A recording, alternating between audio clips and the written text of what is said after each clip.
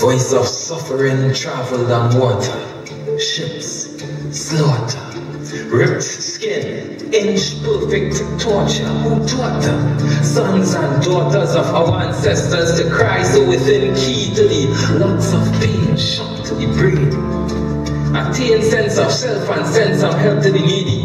Every single person can feel the pain of slavery. What makes us free? Our desire to end suffering. Finish the shaky sentences of your friend when they are stuttering. Your help offering could help bring a trembling voice to make an utterance that claims life.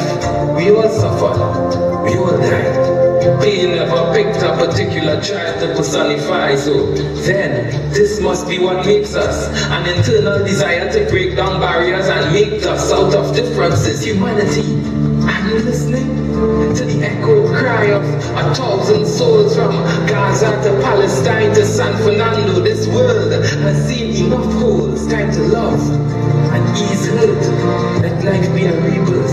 As hand in hand we reword and reverse. and just retold the road to reparation. Love in abundance, the only solution The voice of suffering traveled on water, ships, slaughter, ripped skin, inch perfect torture. Who? Sons and daughters of our ancestors to cry so within key to the lots of pain shot to the brain. Attain sense of self and sense of help to the needy. Every single person can feel the pain of slavery.